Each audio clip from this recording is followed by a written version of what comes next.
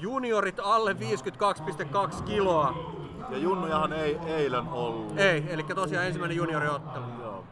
Eli Ja suoraan. tota, vastakkain siniseen kulmaan MMA Utin Rasmus Ikonen ja punaiseen kulmaan Eura Fight Brothersin Juuso Renfors. Siniseen kulmaan. MMA Utti, Rasmus Ikonen.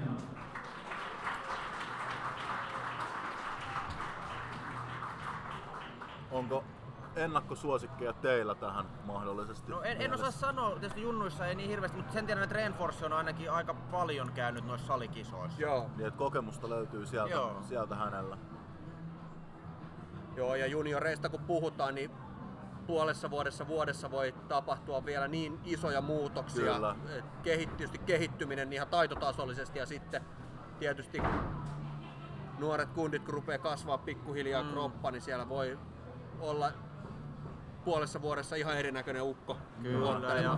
MMA Utin, Utin Rasmus Ikosella selvästi on, on myös tämä tukkamalli tarttunut. Toni Tauru hänet tuossa saatteli häkkiä ja ihan samalla, samalla tukkamallilla mennään. Parta ei vielä Kyllä, parta ei, ole. parta ei ole vielä ihan yhtä vielä, komea kuin Taurulla, ei. mutta eiköhän se siitä. Valmistautuu SOTR Max 10, MMA Imatra, VT Maksimainen. Junioriottelut otellaan juniorisäännöillä.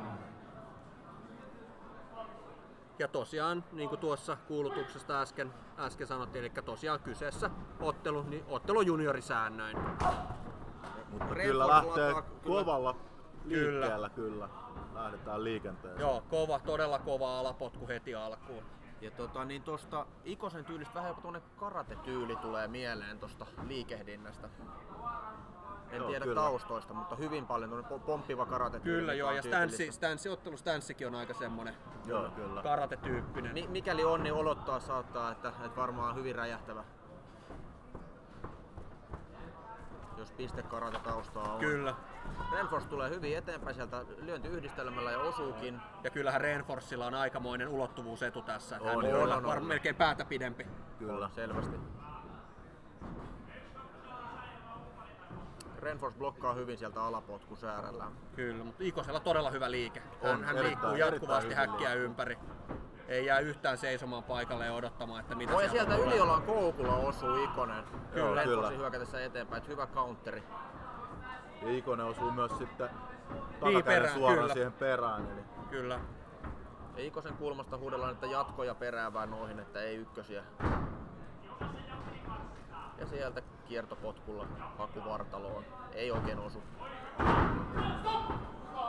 Nyt sitten osuu osui sitten. erittäin kovaa. Renfors. kovaa. Renfors osuu. Ja Ikonen lähtee, Ikonen lähtee hyökkäämään ja lähtee kyyristymään alaspäin ja, ja, ja tota, Rensfors osuu, Rensfors osuu siihen vastaan häntä potkulla, joka osuu sitten suoraan, suoraan Ikosen, Ikosen otsaan ja vähän vaikuttaa siltä nyt, että peli saattaa olla tässä. Joo, ja Toki se voi kyse- itse asiassa olla niin päin, että Renfors Kyllä, tulee Renfors, kyllä, koska, Niin, koska juniorisäännössä on, ty- tyrmääminen, tyrmä, tyrmäyshakuinen otteluhan on kielletty. Kyllä, kyllä, näin. mutta toisaalta, toisaalta saattaa kuitenkin, tai tilannehan on siis Niin, katsotaan nyt, mitä, epäselvää. mitä, katsotaan nyt mitä tapahtuu. Kyllä. Joo, joo, ei, ei ole, nyt on mielenkiintoista nähdä, miten tämä Kyllä. homma etenee. Et mä itse näkisin silleen, että Renfors lähtee selkeästi hakemaan alapotkua ja, ja Niin. Ikonen lähtee samaan aikaan shoottaamaan alas. Kyllä. Ja, ja, ja huonolla, huonolla Niin siis tässä ei todellakaan ollut kyse semmoisesta, että lähdetään niinku nimessä. metsästämään päätä tai Kyllä, mitään kyllä. muuta. Eli kyllä tässä on nyt enemmänkin tämmöinen, vähän niin kuin voidaan sanoa, ehkä sattumien summa. Kyllä sattumien summa nimenomaan. Mutta katsotaan, niin ainakin nyt tietysti mikä on tärkeintä, niin Ikonen vaikuttaa olevan ihan mukana pelissä. Kyllä. Ja vastasi heti häkkituomarin kysyessä, että mikä fiilis, niin ihan ok. Kyllä, ja totta kai niin kuin selvä, niin heti tietenkin myöskin lääkintähenkilöstö paikalle tsekkaamaan, että ottelija, ottelija on kunnossa, koska niin kuin Kyllä. aikaisemminkin ollaan näissä lähetyksissä siitä, siitä korostettu, että ottelijoiden turvallisuus on kuitenkin kaiken Kyllä. A ja O. Kyllä. Ja lääkärithän tulee tuttuun tapaan Suomen vapaaottelu ottelutapahtumissa, niin Boulevardin klinikka tarjoaa. Niin, taitaa olla, ammatti, niin, taitaa olla ammattilaistapahtumissa. mistä Kyllä, tulee kyllä oli täälläkin, kyllä Okei. täälläkin oli No Boulevardin niin, klinikan Selvä. kaverit on, No niin. löytyy täältä. Hyvä juttu, hyvä juttu.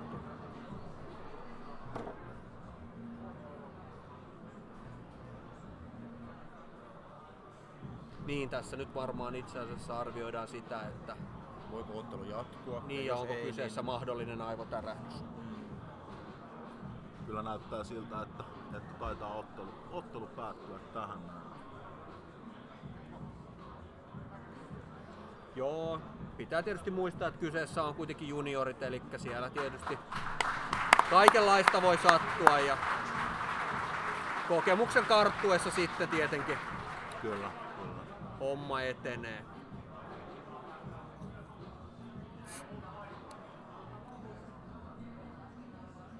Siellä on vähän tuomariston neuvonpitoa ottelun jatkosta. Joo, kuunnellaan mitä, mitä tota, tilanteesta päättävät tahot ovat mieltä.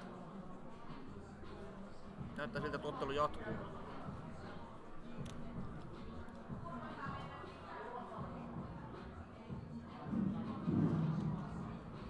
Ah, kulmat sisään. Nyt on mielenkiintoista. Ottelu No niin, ottelu keskeytetään Joo, kyllä. kyllä. Mun nähdäkseni ihan oikea ratkaisu. Kyllä, tuli joo. Tähän kohtaan. Harmittavaa tietysti molempien puolesta. Totta kai, on mut- valmistautunut.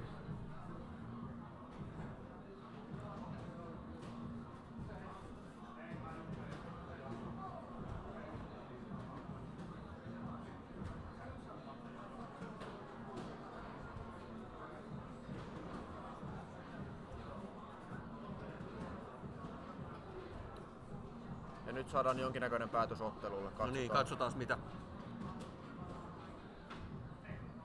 Hyvin, hyvin harvinainen tilanne. On kyllä, kyllä. Ja nimenomaan, koska kyseessä on juniorit, niin tilanne on eri. Totta kai, juuri näin.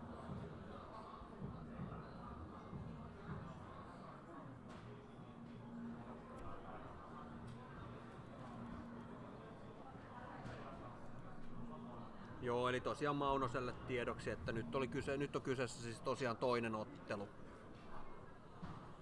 Ja ottelun tuloksena on no contest.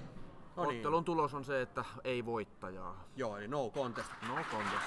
Eli molempien, molempien ottelijoiden kädet nostetaan, nostetaan ylös ja puheenjohtaja Heikki Kaijalainen jakaa